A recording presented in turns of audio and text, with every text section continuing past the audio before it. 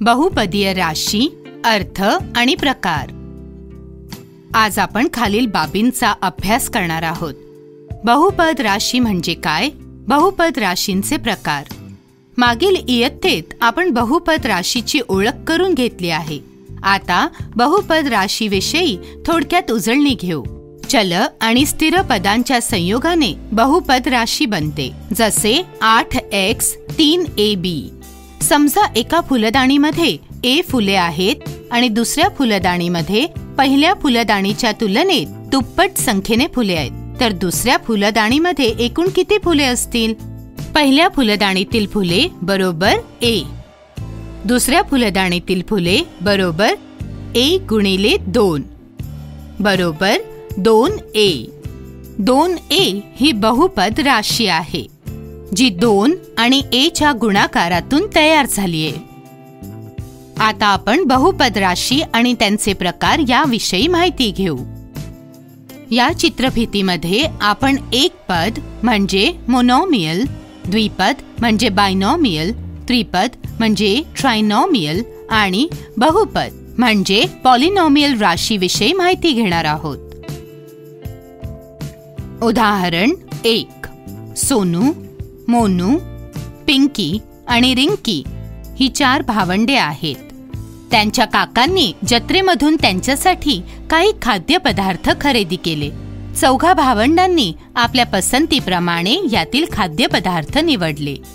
त्यांनी खालीलप्रमाणे खाद्यपदार्थांची निवड केली. सोनू दोन समोसे. मोनू चार जिलेब्या तीन पेढे. पिंकी दोन लाडू एक समोसा चार जिलेब्या.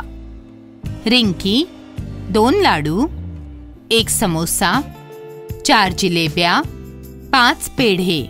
वरील खाद्यपदार्थांची मांडणी बहुपद राशीमध्ये करा. इथे आपण सामोस्याला एस असे संबोधूया. जिलेबीला जे पेढ्याला पी आणि लाडूला एल असे संबोधूया.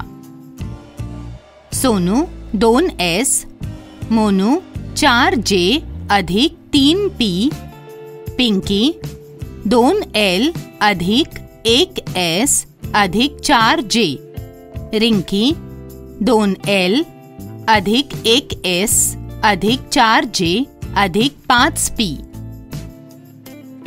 वर पाहिल्याप्रमाणे सोनूकडे एकच खाद्यपदार्थ आहे. मोनूने दोन खाद्यपदार्थांची निवड केली. पिंकीने तीन तर रिंकीने चार प्रकारचे खाद्यपदार्थ निवडले. त्याप्रमाणे ज्या राशीमध्ये एकच पद असते तिला एक पद म्हणजे मोनॉमियल असे म्हटले जाते. ज्या राशीमध्ये दोन पदे असतात आणि दोन्ही असमान असतात त्यांना द्विपद म्हणजे बायनॉमियल असे म्हणतात. ज्या राशीमध्ये तीन पदे असतात त्याला त्रिपद म्हणजे ट्रायनॉमियल राशी म्हटले जाते. ज्या राशीमध्ये एक किंवा अनेक पदे असतात त्या राशीला बहुपद म्हणजे पॉलिनॉमियल राशी असे म्हणतात. तर मुलांनो आज आपण शिकलो बहुपद राशीचा अर्थ आणि बहुपद राशींचे प्रकार. पुढील चित्रफितीमध्ये आपण बहुपद राशीबाबत अधिक जाणून घेणार आहोत. धन्यवाद.